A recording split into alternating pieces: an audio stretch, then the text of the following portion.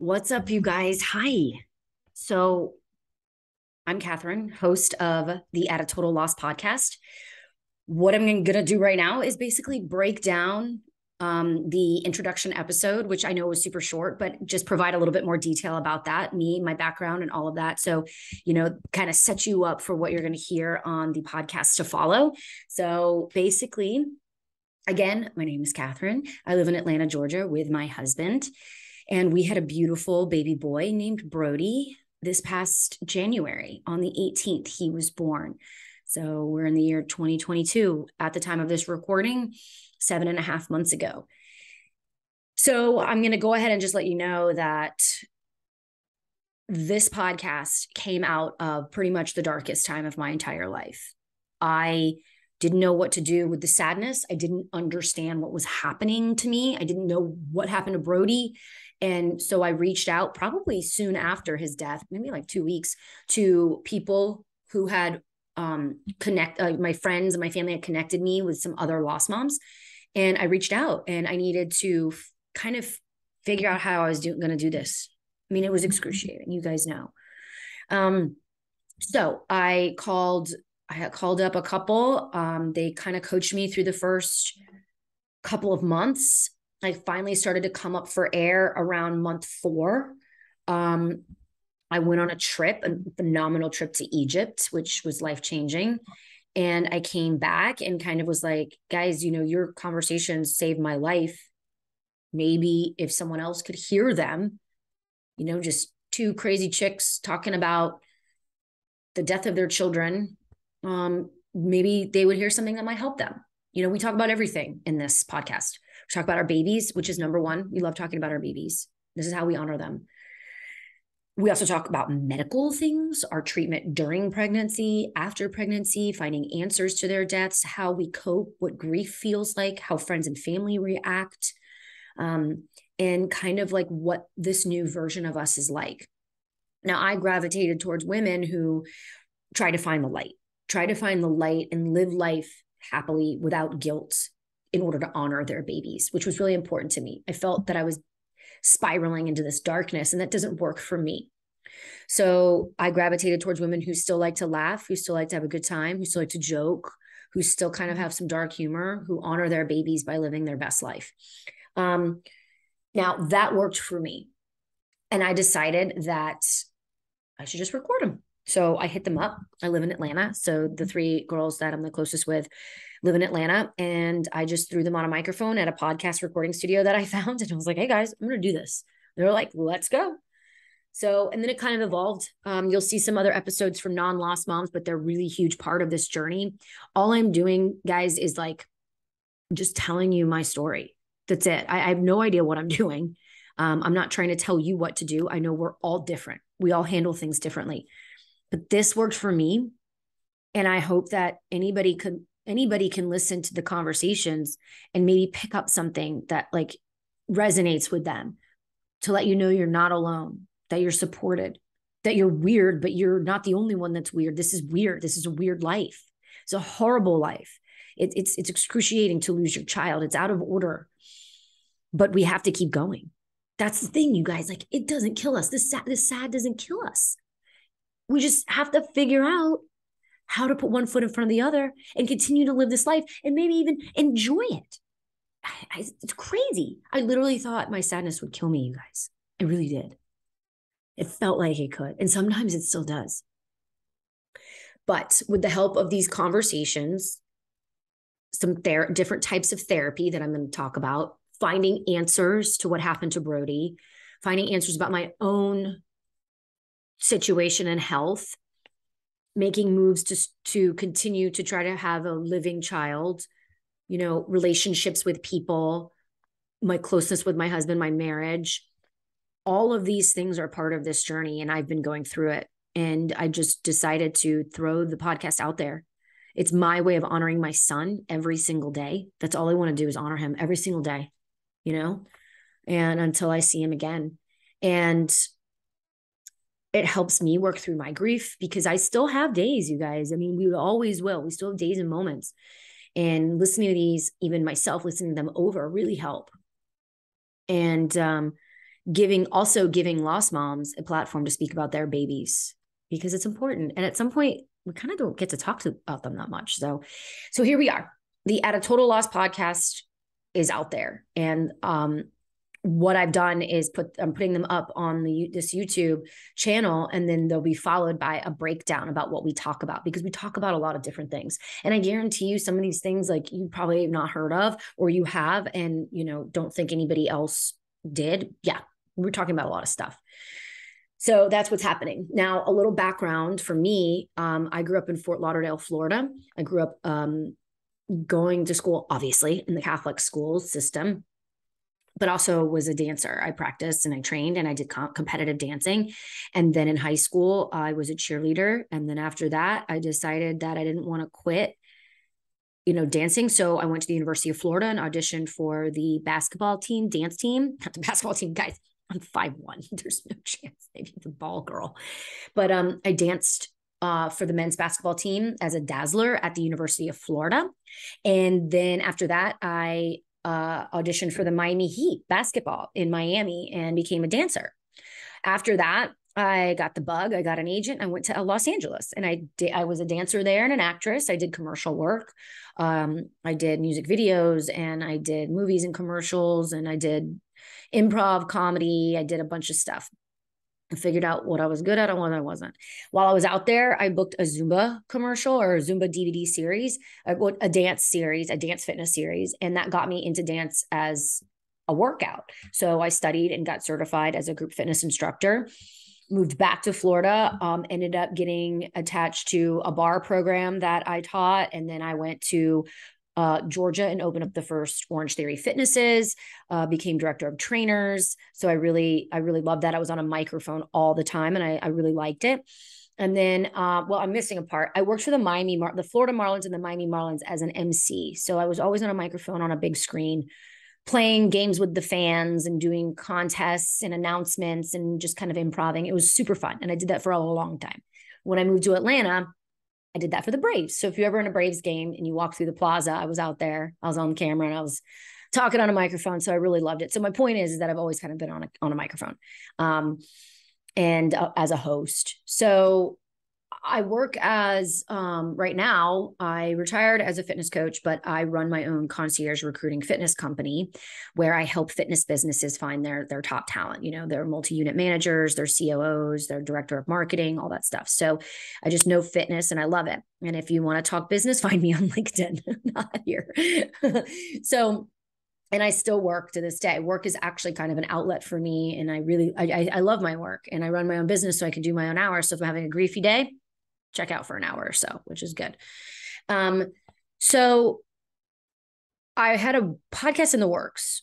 I knew when I was pregnant that I wanted to be a full-time mother and being a contract worker, I wasn't going to get maternity leave. So I wanted to set myself up to be able to do things, but be full time for Brody. Um, so I started a podcast interviewing fitness professionals in the space and what it's like to work in fitness and I worked it all out. I worked with the planner, I worked with everything. And it was supposed to launch February 1st. So I realized that, you know, obviously Brody had passed on January 17th. And I went into labor on January 18th. He was born on January 18th. And I um, just said, going back to the previous life that I had was not going to work for me. I didn't know how to release a podcast that I shot pregnant. Like you can, you can see it in my face. Like, so I kind of had done the layout for how to do this. I still don't know what I'm doing and but hey, you know, here we are.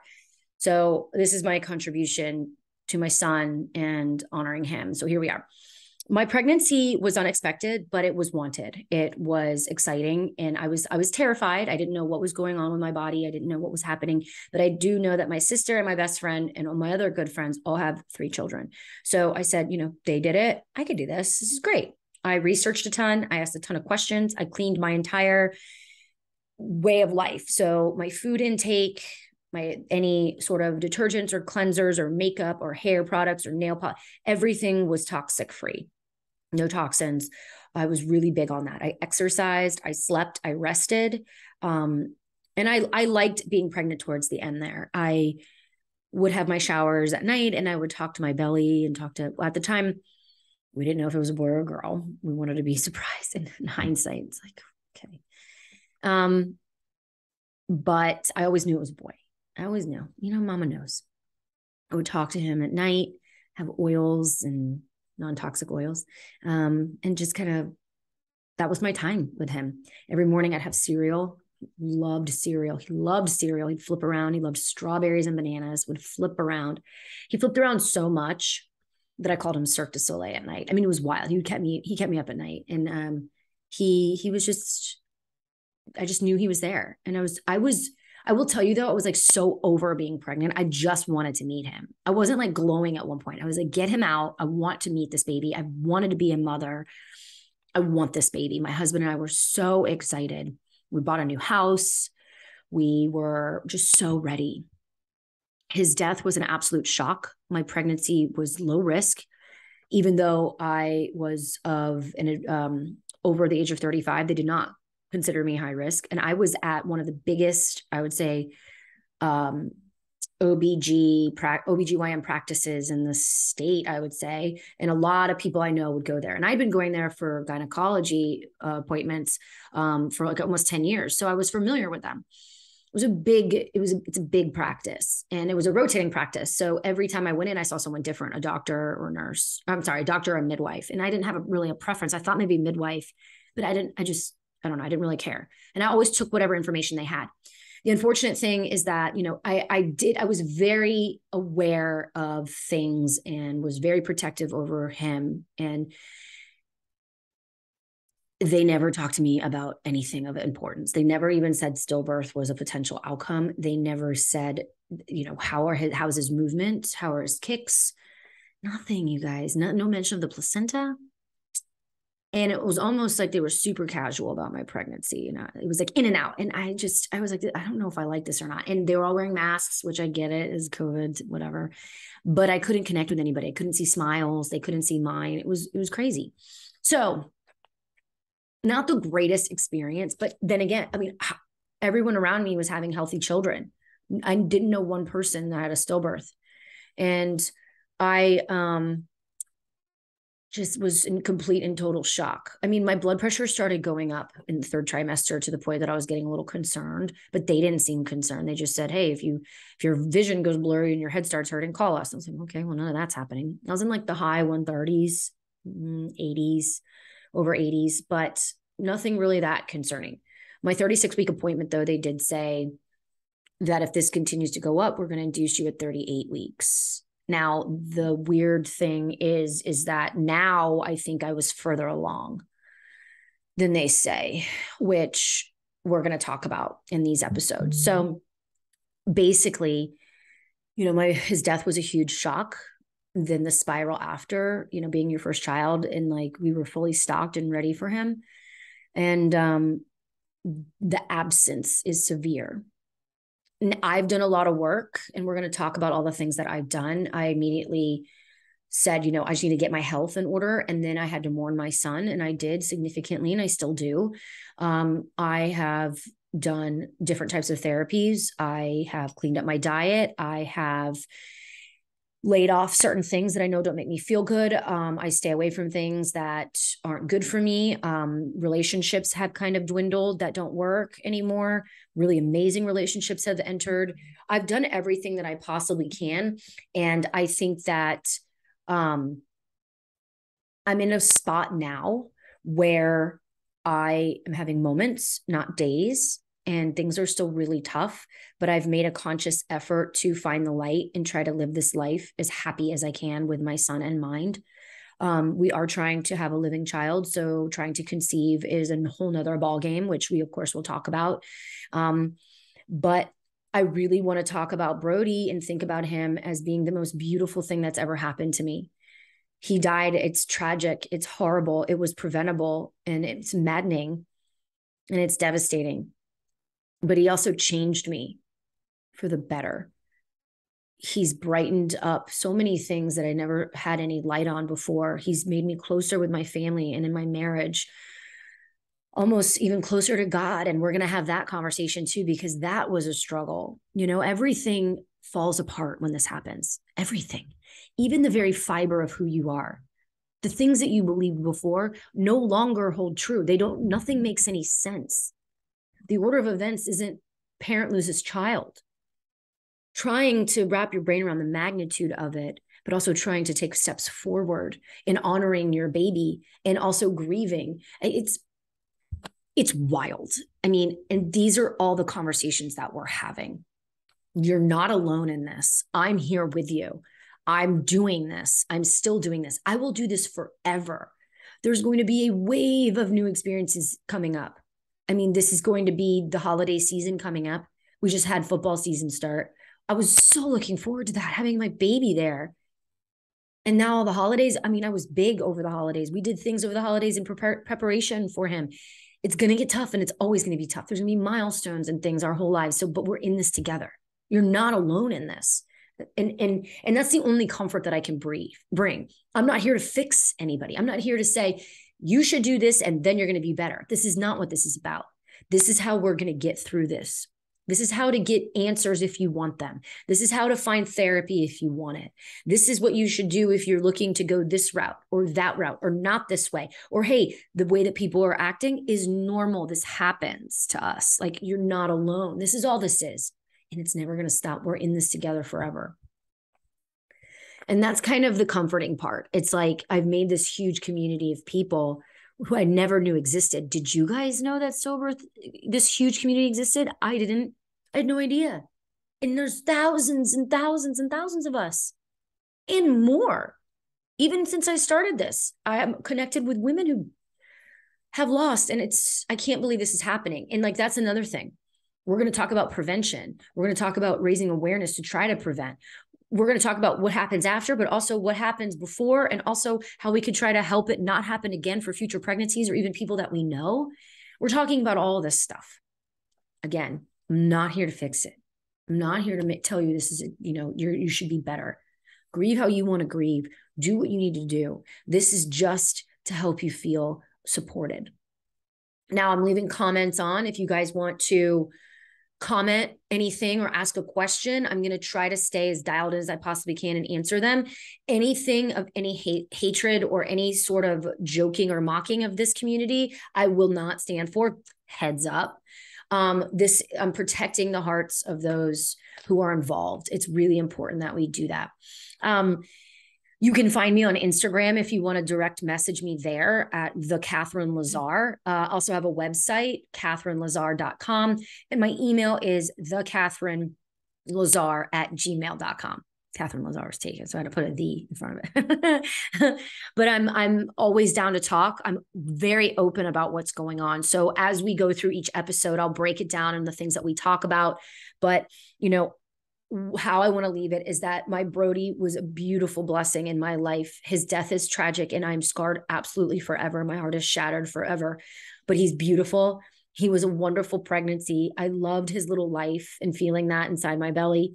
And I want to talk about him all the time and how beautiful he is and all the wonderful things he's doing in my life. I'm here again for you if you need anything. And I'm here for your babies. I want to hear about your babies. I want to hear their birthdays, their names, and your favorite part of them.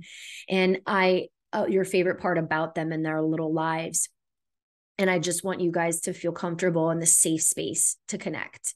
So, with that said, thanks for listening. Um, episode introduction episode is already up on this page and then you'll see the rest of them in the breakdowns after that. So please feel free to reach out. And I'm sorry that you're here, Lost Mamas, but I love that we've connected. Take care of yourselves.